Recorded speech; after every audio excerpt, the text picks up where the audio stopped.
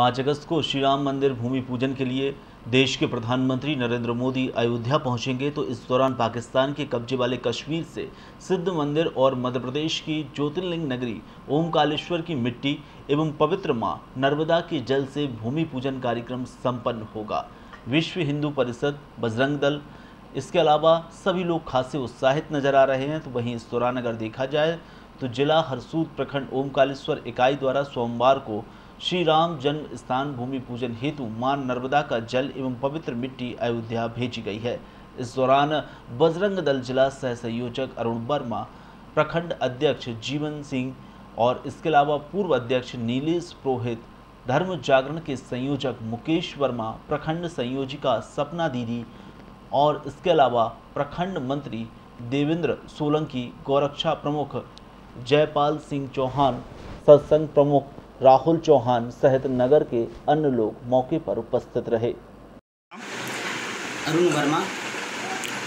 जो ये आप जल लेके जा रहे हैं और ओमकारेश्वर से जो माटी लेके जा रहे हो किस कार्य के लिए लेके जा रहे हो? ये वह दिन समीप में है वह क्षण समीप में है। अब राम जी तुम्हारा मंदिर वही बनेगा। बजरंग दल विश्व हिंदू परिषद द्वारा भगवान श्री राम जी का भव्य निर्माण कार्य प्रारंभ होने जा रहा है पाँच अगस्त को। उसी हेतु श्री ओंकारेश्वर ज्योतिर्लिंग तीर्थ क्षेत्र से अभिमंत्रित कर माँ नर्मदा का जल एवं ओंकारेश्वर तीर्थ से जो ये माटी ले जा रहे हैं ये राम मंदिर भव्य निर्माण कार्य प्रारंभ हो इस हेतु लेके जा रहे हैं। जय करा वीर बजरंगी। हर हर महादेव। सब दे दीजिए।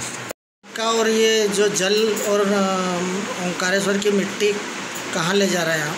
मैं जयपाल सिंह चौहान, प्रखंड को रक्षा प्रमुख ओंकारेश्वर। यह मिट्टी और जल और माँ नर्मदा का पवित्र जल और ओंकारेश्वर भूत भावन प्रभु ओंकारेश्वर के नगरी की माटी।